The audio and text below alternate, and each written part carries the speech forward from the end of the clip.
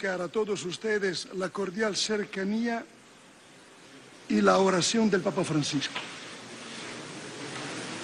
El Papa sigue muy de cerca la compleja situación de este querido país y está hondamente preocupado por las tensiones existentes y su deseo es de favorecer lo más posible la feliz realización de este proceso.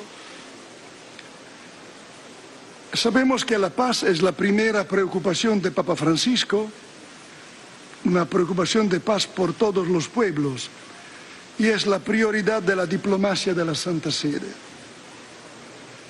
Ningún pueblo puede resolver sus tensiones con la violencia. Siempre hay otra posibilidad. Violencia crea solo más violencia. Hoy necesitamos encontrar caminos que, aunque difíciles, conducen a una paz segura y duradera. En la encíclica Laudato Si, Papa Francisco pone la pregunta, ¿qué clase de mundo queremos dejar a los que nos sucedan, a los niños que están creciendo? Esta pregunta debe resonar hondamente en el corazón de todos.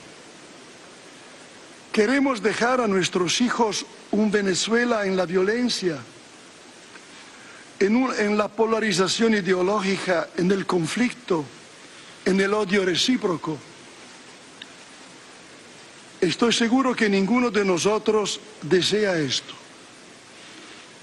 Ninguno de nosotros desea pasar a la historia como una persona que no ha hecho todo lo posible para evitar la violencia.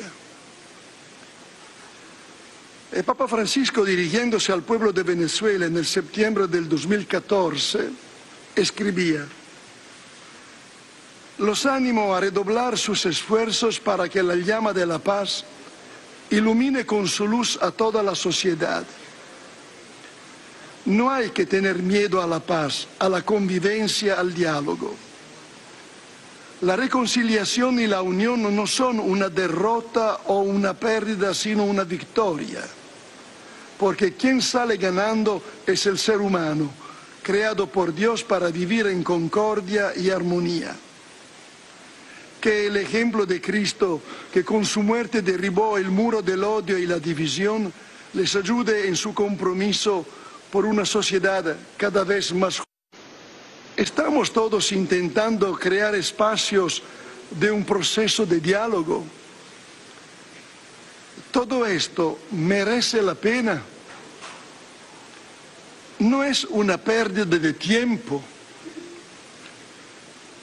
Escuchando a las declaraciones después de los encuentros de la semana pasada, Podemos decir que de un lado hay muchas personas que consideran el camino del diálogo como la única vía para recorrer y la comunidad internacional ha expresado un consentimiento casi unánime en el sostener el diálogo como único camino para Venezuela. Al mismo tiempo existen personas que son contrarias al mismo y no creen en el diálogo están desilusionadas por experiencias negativas del pasado o tienen miedo de la manipulación política del diálogo. Otros no son contrarios a este tentativo de diálogo, pero en el fondo lo consideran inútil porque piensan que no llevará a ningún resultado concreto. Todos aquí estamos convencidos que lo que estamos enfrentando un profundo desafío. El diálogo es el camino principal de la política. El diálogo es el instrumento social que permite construir una polis, una ciudad, es decir, un pueblo donde las diferencias se armonizan en un proyecto común. La política tiene como su alta misión el servir el bien común de todo el pueblo y pertenece al bien común de un pueblo el derecho a la vida, a la seguridad, a la salud y al alimento. Hay que encontrar el camino en el marco de la ley, de la democracia, de la paz. La última instancia democrática de una nación son su constitución y sus leyes. el poder público y también la oposición tienen la responsabilidad de respetarlas y defenderlas. Como muchas veces ha afirmado Papa Francisco, todos estamos llamados a promover una cultura del encuentro, ir al encuentro del otro con apertura, con disponibilidad a escuchar, desarmado. Como afirmaba Monseñor Cherrick dirigiéndose a ustedes el lunes pasado, quien se presenta armado, también a nivel de vocabulario, lenguaje y actitud, genera una reacción armada. Quien viene desarmado, es decir, abierto a un diálogo respetuoso, desarma, vence las armas, desmiente la lógica del conflicto.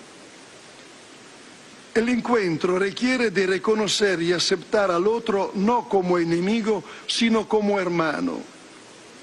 Y ningún sujeto histórico puede ser identificado siempre como enemigo, absoluto y eterno.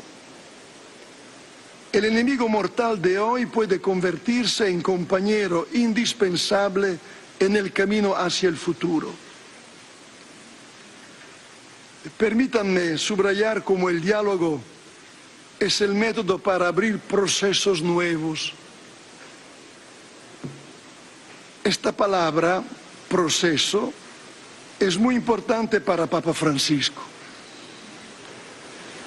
De mi parte, no solo la subrayo, sino más bien expreso la esperanza que este proceso de diálogo en Venezuela continúe y que podamos acordar una agenda de temas, un método de trabajo, posibles etapas, etapas del mismo diálogo. Todos comparten conmigo la impresión que no estamos frente a una tarea sencilla sino más bien frente a dificultades que están enraizadas en nuestras vidas, en nuestras historias personales, muy hondamente. Pero estamos llamados a mirar lejos, buscando el bien de este querido país y por ende a sobrepasar las varias dificultades que enfrentamos. A los comienzos de este camino les pido en nombre del Papa Francisco, que se llegue a concordar para dar credibilidad a este proceso algunos gestos concretos que destajen la buena voluntad de ambas partes. El país está esperando señales auténticas para comprender que el diálogo es una realidad y es algo muy serio. Esta noche les deseo a todos un buen camino.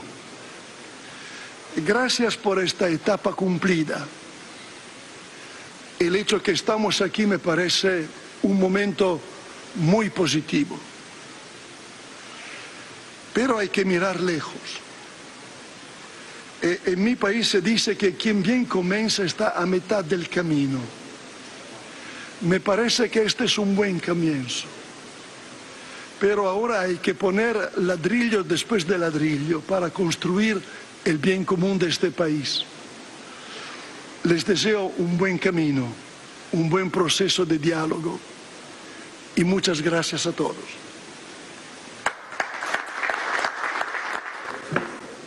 Creo que hay que ser optimista cuando se trata de la paz. Y como hemos venido diciendo en estos días, el diálogo no tiene alternativa.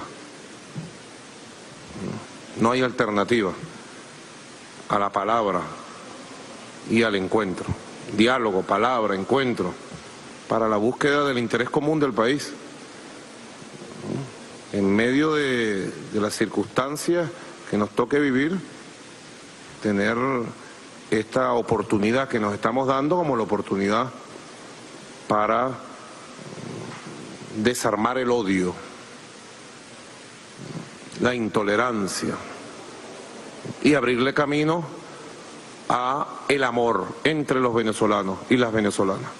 Creo profundamente en el amor como el arma más poderosa para ir a un proceso de consolidación de paz, de construcción de paz. Quiero manifestar ante el Papa Francisco, su representante, como lo hice hace unos días en Roma, darle las gracias y ante ustedes el compromiso absoluto como presidente de la República y líder del movimiento bolivariano revolucionario de Venezuela con estos procesos de diálogo. Compromiso total y absoluto.